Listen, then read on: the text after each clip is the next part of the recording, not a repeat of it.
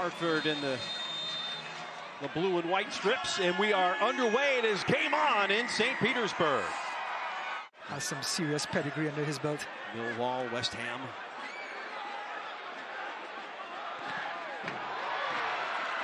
Big block there.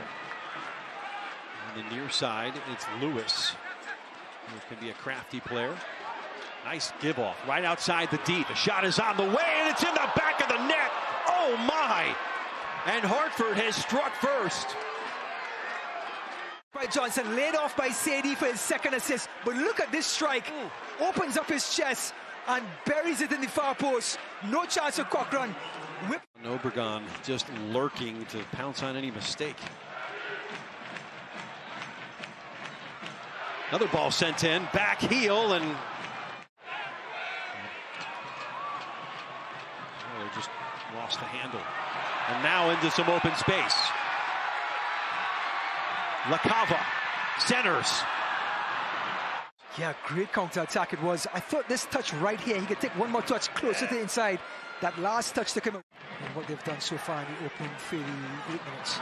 Oof. Be careful now. Open goal, and it's tied at one. It's better to be lucky than good. But you make your own luck. LaCava's got it.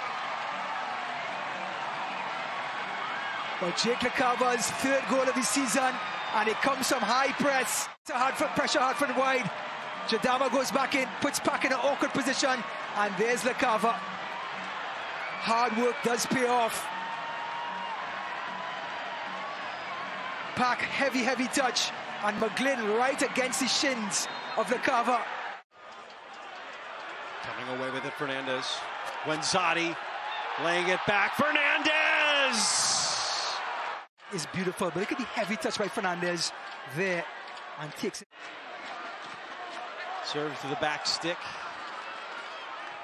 Headed by Bugatti. White has it again. Searching for the game winner. White in front. Tejada down. Pushed off to the side. That's off of the keeper. Should be a corner. And Brewitt was the one that got at the initial intervention. Oh, good read by Conner Antley, and his softest of headers to Jordan Scarlett. Fizz to the far side. Coming to the left foot. It's in front again. A vital challenge. Dealt with, and full time has been whistled by Elvis Osmanovic. And they'll share the points tonight. One apiece for Tampa Bay Rowdies and Hartford Athletic. Two goals in the first half stand up as two exhausted teams